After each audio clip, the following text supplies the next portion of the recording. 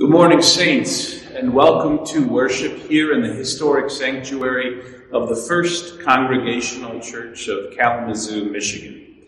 We're a member church in the United Church of Christ, where every Sunday we affirm that no matter who you are and no matter where you are on life's journey, you are welcome here. My name is Nathan Dannison. I'm one of the pastors of this church.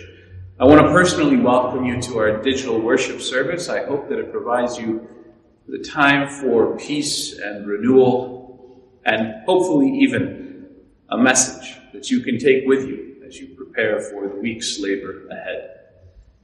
Kinfolk, we all have a role to play and we all have a place at the table. We are each of us a member of the body of Christ. And so members of one body, let us seek his peace together. May the peace of Christ be with you.